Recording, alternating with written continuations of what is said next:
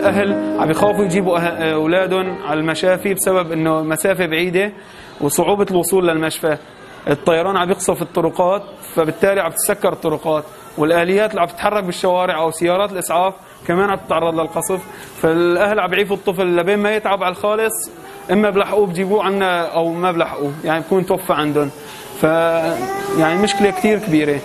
في في مشكلة ثانية عم نعاني منها إنه هي نقص المستلزمات الطبية والمواد الأولية للمشافي. ففي آه، أقسام ناق- ناقصنا منها العناية المشددة للطفل. آه، أحد الحالات اللي اجتنا في طفل بده عناية مشددة آه، اضطرينا نحطه بقسم إنه نحن نعتني فيه قدر المستطاع فما تحمل وتوفى.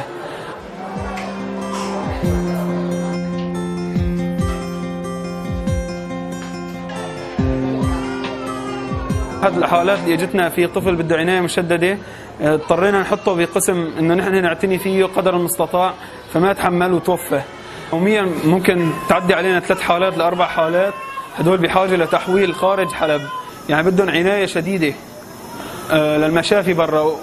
نحن كنا عم نحول على تركيا بسبب نحن ما عندنا مشافي تحمل هالوضع هذا أو عناية تتحمل هالوضع هذا بسبب إنه ما ضل مشافي آه، تحمل هالشيء بسبب قصف المشافي وتدميرها بالكامل.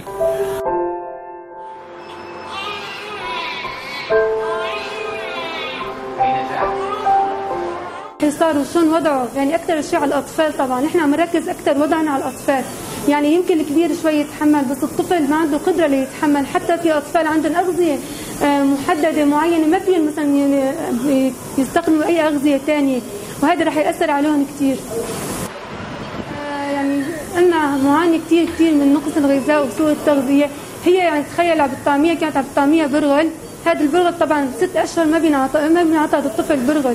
هذا أثر عليها كثير الطفله وسبب لها حاله الوفاة هاي بحاجة لحليب بحاجة لغذاء بحاجة مثلا لسيريلاك بحاجة لفواكه. هلا أطفال في عندنا أطفال من ست أشهر مثلا بحاجة لبيض بحاجة لفواكه. آه للتغذية يعني بأول عمر بالعمر ست أشهر هن محتاجين هاي التغذية وللأسف يعني مو موجودة هون.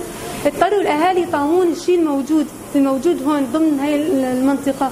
وهذا الشيء أثر عليهم كثير وأدى لحالة الوفاة الوضع كثير صعب كثير شديد وكثير حرج لأني هون الأطفال يعني لا, ينقص أكثر من المعدات الطبية آه، وراح يصير راح يصير آه، راح يصير جوع أكثر وراح يصير هي إذا بترتفع أكيد راح ترتفع آه، سوء التغذية عدد سوء التغذية حالات سوء التغذية راح ترتفع كثير في هاي الحالة.